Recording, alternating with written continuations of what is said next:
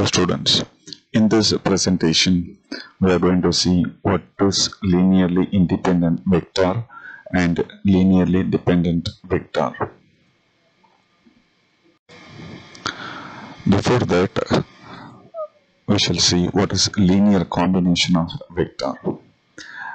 Let V be a vector space over a field F and S be a non-empty subset of V non-empty subset in the sense we collect some few vectors from this vector space V. A vector V in the capital V is called a linear combination of vectors in S. If there exists U1, U2, etc. Un in capital S and some scalars like alpha 1, alpha 2, etc. alpha n taken from this field F such that B can be written as sum of like alpha 1 u1, alpha 2 u2, etc. alpha n un.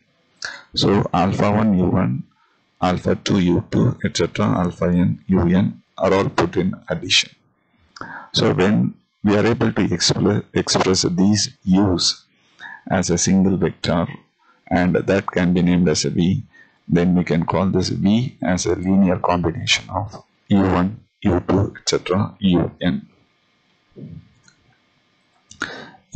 It is clear in the graph this w can be written as a linear combination of u and v with some scalars like 2 times u and 3 times v.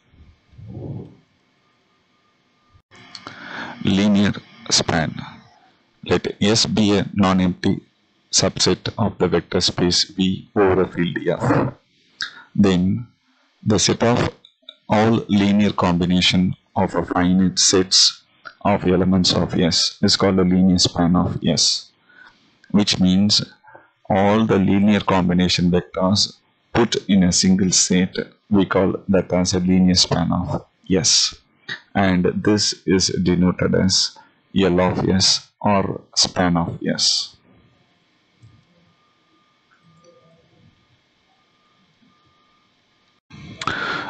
Next definition is linearly independent. Let V be a vector space over a field F.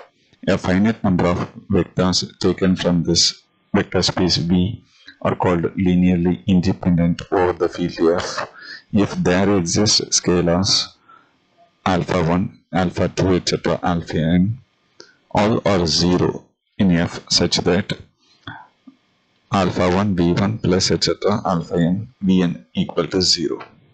So scalars multiplied with vectors on adding all n vectors it yields a 0 only if all the scalars are 0. In such case the vectors are called linearly independent. In the graph it is clearly visible that these two vectors u and v are independent. Here too in the plane all the three vectors are independent. Next definition is linearly dependent. Let V be a vector space over a field F. A finite number of vectors v1, v2, etc. vn are called linearly dependent over the field F. If there exist scalars n scalars, not all the scalars are 0 in F such that alpha 1 v1 plus etc alpha n vn equal to 0.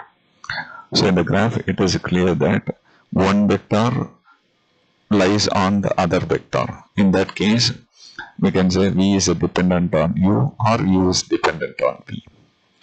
The same way when three vectors lies on the same plane we call those vectors as dependent vectors. Thank you.